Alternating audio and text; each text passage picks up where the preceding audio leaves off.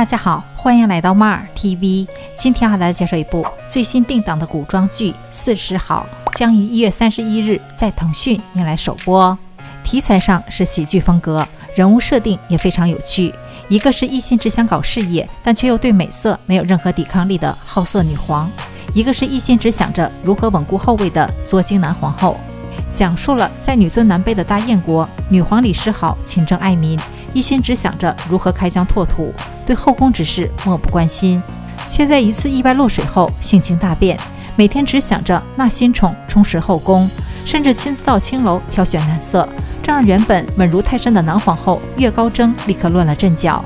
为了保住自己的后位，岳高征开启了作精本色，为女皇李世好编织了一场谎言美梦。在一真一假的谎言中，李世好逐渐开始发现自己性情大变的真相。那么，看似恋爱脑的男皇后岳高征究竟是敌是友？四十好定档一月三十一日首播，记得订阅我们哟。